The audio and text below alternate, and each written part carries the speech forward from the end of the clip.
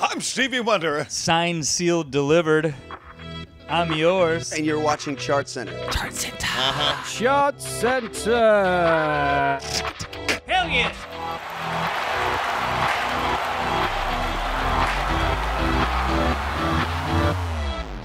What's up and welcome harmonizers. And everybody else. We're all harmonizers. And welcome to Chart Center. I'm Tetris Kelly. And I'm Christina Garibaldi. And we actually spoke to Fifth Harmony all about their new album, Work, work, work. Plus, we got some great fan reaction. We also have an interview and performance with the voice winner, Alisan Porter. We are going behind the scenes at the BottleRock Festival, and we have a very, very special appearance by Scott Stapp. Scott Stapp? You're gonna love it. But before we get to all that, we are going inside the numbers, giving you the top stories from the Billboard charts. Well, it might sound like deja vu, but Drake is taking over the week again. For the second week in a row, he pulled a hat trick, number one on the Billboard 200, Hot 100, and Artist 100. He's only the fourth artist ever to do that. It's kind of like the Mount Rushmore of artists. We got Taylor Swift, Adele, and The Weeknd. Pretty impressive company. But Drake's album is spending its fourth consecutive week at number one. The last male artist to do this was Michael Bublé, who did it with his album Christmas. That spent five consecutive weeks at number one. Congrats, Drake. But what's really cool is that on the Billboard 200, we had five debuts in the top 10. Eric Clapton, Bob Dylan, Mudcrutch, and at the top of the charts, number two, Ariana Grande, and number three, Blake Shelton. Tetris, we have a big issue here at Billboard. It is Battle of the Brothers, Nick Jonas versus Joe Jonas. Now, they both saw big bumps from the Billboard Music Awards on the Hot 100. Is it really a battle? It's a battle. Well, let's settle it. It's time for a lightning round. Start living dangerously. Christina, you have 15 seconds to explain to me why Nick is hotter going into the summer. All right, I'm ready. Go. Close jump to number 15 on the Hot 100. He had a top 10 hit with Jealous, which peaked at number 7. He had two Billboard 200 top 10 albums, plus his new album, Last Year Was Complicated, comes out on June 10th. That features Tove Lo, Ty Dolla Sign, Big Sean. He also has 10.6 million Twitter followers. Okay, that's enough. Joe has 8.2. That's because I haven't retweeted him yet. Mm-hmm. But let me tell you about my friend Joe. See, Joe, on the other hand, after the BBMAs, ended up at number 14 with Cake by the Ocean. That's better than 15. Also, Cake by the Ocean has 111 million views on YouTube. That's more than 104 million for Jealous. Can you even count? And let's talk about top 10s. My boy Joe has DNCE with Cake by the Ocean and also a song with Demi Lovato in 2008. well, Nick Jonas is best friends with Demi Lovato. well, Joe was on Grease Live. you know who's the real winner in all of this? Ah, Kevin Jonas, that reality show? No, Frankie Jonas, the bonus Jonas. What are you talking about, Frankie, bonus, Jonas. Jonas. Yes. No, Kevin. Hey, we're Atlas Genius. I'm Atlas Genius. And we are, you're all Atlas Genius, and you're watching Chart Center. The BottleRock Music Festival just wrapped up its fourth year in Napa Valley. Yeah, and we sent our correspondent Shira Karsen there. She talked to all the big names, including Mr. Stevie Wonder himself. This is your live look-in presented by StubHub. Hey, Christina and Tetris. This is Shira Karsen, live from BottleRock, and I'm working really hard, or hardly working.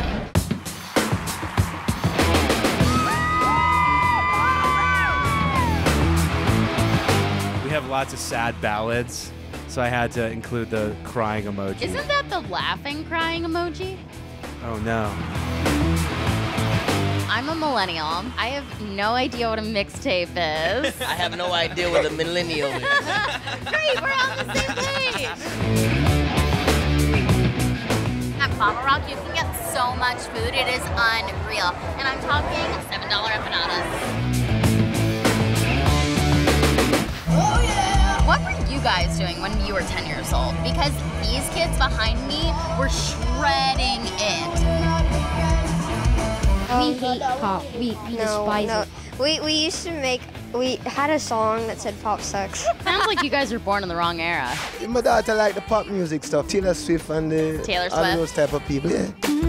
Has she ever met Taylor Swift? No, she met Rihanna though. What was she like when she met Rihanna? I think Rihanna was more excited. Rihanna was more excited.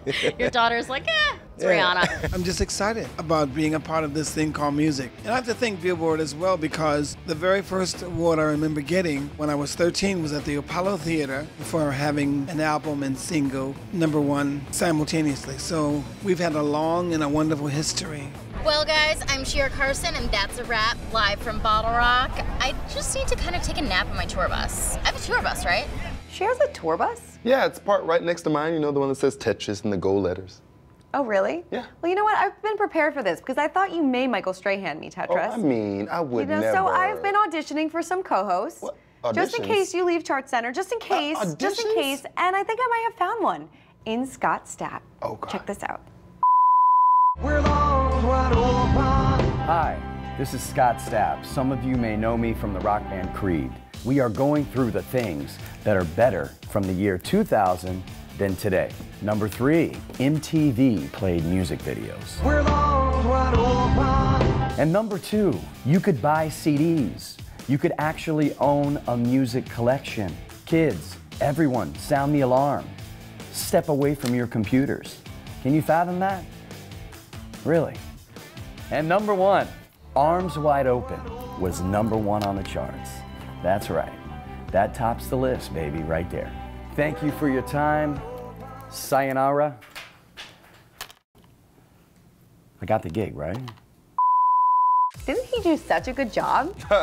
We're gonna have to have a meeting about that. Well, it's going to have to happen after next week now, presented by StubHub. We have been talking nonstop about Fifth Harmony's new album, 727. We absolutely love it. And we're going to see how that charts next week. But what we do know is that they are bringing girl group power back in a big, big way. Work from Home is the first top five by a pop girl group in the last 10 years on the Hot 100. Yeah, the last time that happened was with the Pussycat Dolls with Buttons back in 2006. Yeah. Work, work, work. Okay, we actually have to work. We do have to work. But we actually spoke to the girls recently and they told us all about how much they've evolved since their first album. Check this out. There was like such a range of songs on there. There was straight pop, there was like more urban kind of beats. Give it to me, I'm worth it. You know, when Worth It hit and when Boss hit, we kind of felt like that kind of urban undertone sound kind of represented us really well. And it completely dictated, I feel like, the direction of our group. We started dancing a lot more, we started incorporating more choreography. And once we found that, we wanted to really tap into that on 727. We've kind of honed into that sound, and a, a lot of it, it's like more cohesive this time around. I, for one, am excited for the tour. Luckily, we talked to the girls about what to expect when it starts on, you guessed it, 727. We just want to show all our fans how appreciative we are of them for being with us from the get, and this is our dedication to them since July 27th. Enjoy the music, release yourself, and just like have fun. Yeah, it's honestly gonna be a lot of fun and dancing and just like girl vibes. So yeah. Nobody knows hashtag girl vibes like the Harmonizers. And they are the stars of this week's Fan Army Roll Call. That's right, the Harmonizers are killing it. They got their girls up from number 15 to number 6 on the Social 50 chart. That's their first time in the top 10 since September. And get this, last week they got almost 900,000 reactions on Instagram and almost 400,000 mentions on Twitter. Yes, well, we reached out to the Harmonizers to get their reactions on 727. Kill it, Normani, kill it. There was a lot of singing, there was a lot of dancing, and there was a lot of screaming. Overall, I think they liked it.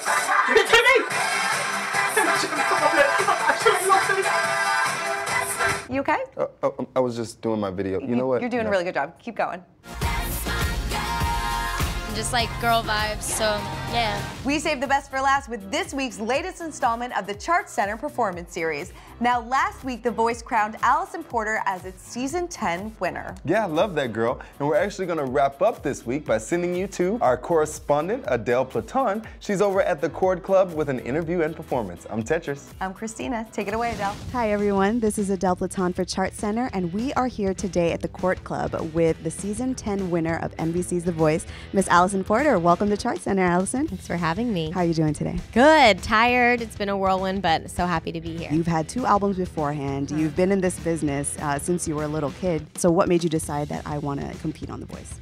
You know, I just had never really taken it to the next level, and I had always wanted to, and it just didn't work out. And I had been in bands and tried every which way to kind of really find my place in the music business. And the voice kind of fell out of the sky. I got an email asking if I wanted to audition, and I was like, heck yeah, sure, why not? And now the rest is history. Exactly. You know, you've also had some time in the business and you were able to become really good friends with Adam Lambert. Uh-huh. Can we please get a collaboration with the two of you? Oh my gosh, please. Yes, I think that is highly possible. I hope so. And what do you hope to put into your uh, forthcoming album? You know, before I was able to try different things and see kind of where I wanted to land in the music industry just on my own. But now I kind of have like the roller coaster ride of the show, all the things I've learned, and I think it will really help me settle into the perfect lane, find out what the Alisan album will sound like. I think the writing process will be very telling. And that's a perfect note to end on. So, ladies and gentlemen, this is Alisan Porter performing Down That Road.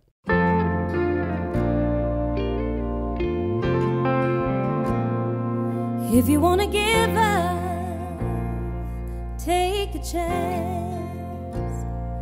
When the party's over, you should have the last dance. If there's no direction and you